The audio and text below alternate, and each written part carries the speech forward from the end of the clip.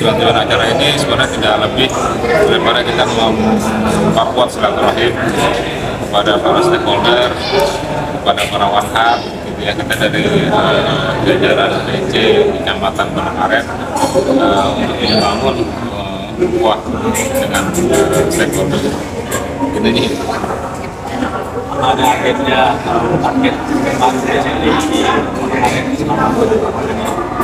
kemarin ini uh, kita fokus untuk uh, membangun uh, memperlancar kegiatan-kegiatan dan eh, menyemangati uh, para warga LDI untuk bisa meraih masuk Mas Ramadan. Itu kira-kira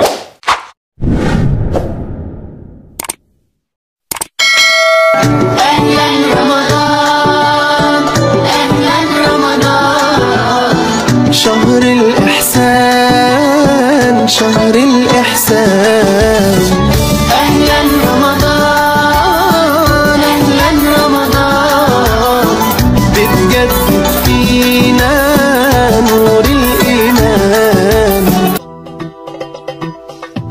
Assalamualaikum sahabat Aslamba.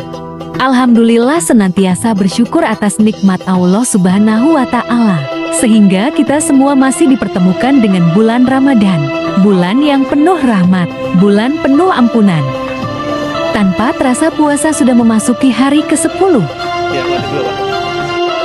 Pada tanggal 1 April 2023, pimpinan cabang Lembaga Dakwah Islam Indonesia Kecamatan Pondok Karsen mengadakan acara buka puasa bersama Bapak Camat dan segenap jajaran Sekwilcam Pondok Aren, Kota Tangerang Selatan bertempat di Masjid Azizul Aslam, Kelurahan Pondok Pucung. Turut hadir pula Bapak Rahmat selaku anggota DPRD Kota Tangerang Selatan, Majelis Ulama Indonesia Lurah Pondok Pucung, dan Lurah Jurang Mangu Barat, serta Babinsa dan Babin Kamtipmas.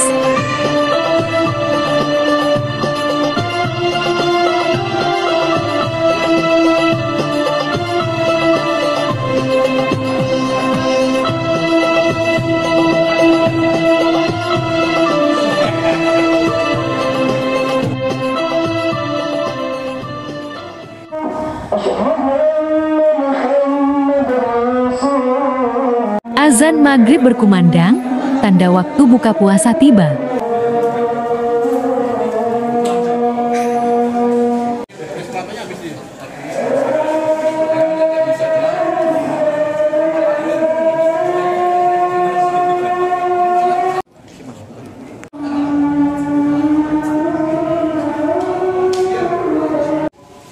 Acara dilanjutkan dengan sholat maghrib berjamaah.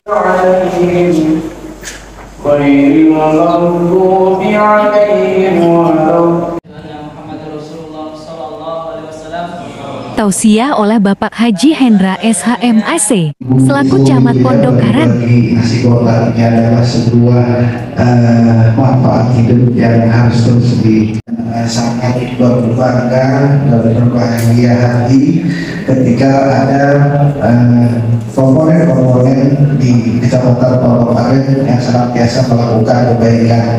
Tentu saja sudah sangat bisa diketahui Bapak Ibu yang uh, saya hormati, pada kesempatan ini tidak banyak yang bisa sampaikan. Uh, saya ingin hanya mengajak dan berkolaborasi untuk mencegahnya. Dan alhamdulillah di minggu kedua kita sudah nol pak kasusnya.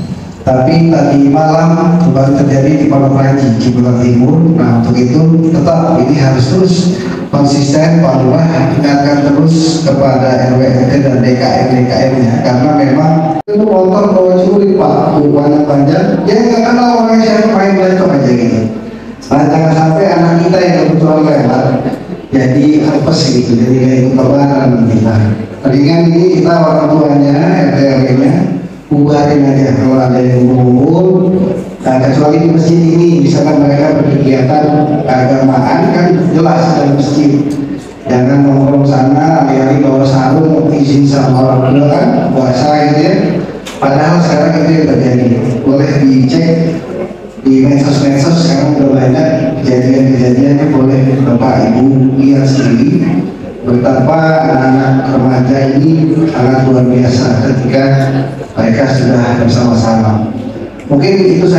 Dari saya.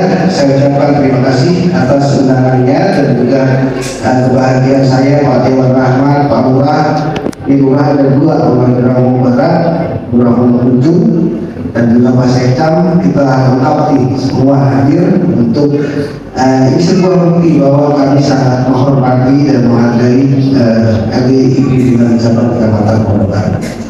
Mungkin itu saja. Wabillahi taufiq wa hidayah. Assalamualaikum warahmatullahi wabarakatuh.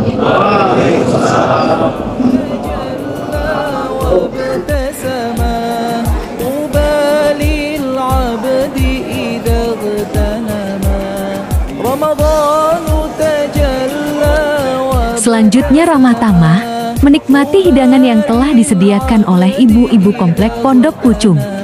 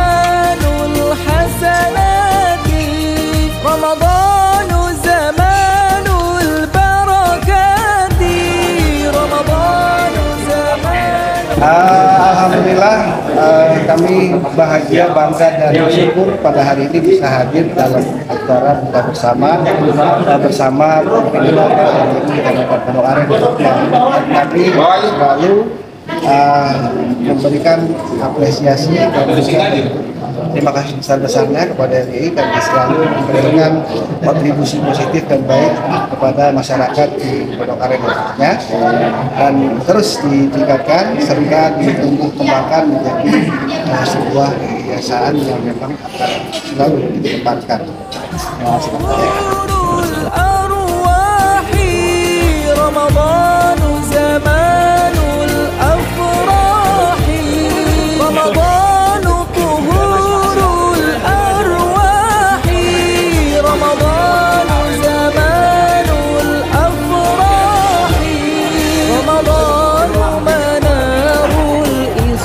Acara ditutup dengan foto bersama.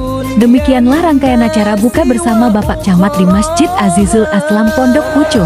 Semoga LDI senantiasa memberikan manfaat bagi masyarakat. Alhamdulillah jazakumullahu khairan. Semoga Allah paling aman, selamat, lancar, manfaat, dan barokah.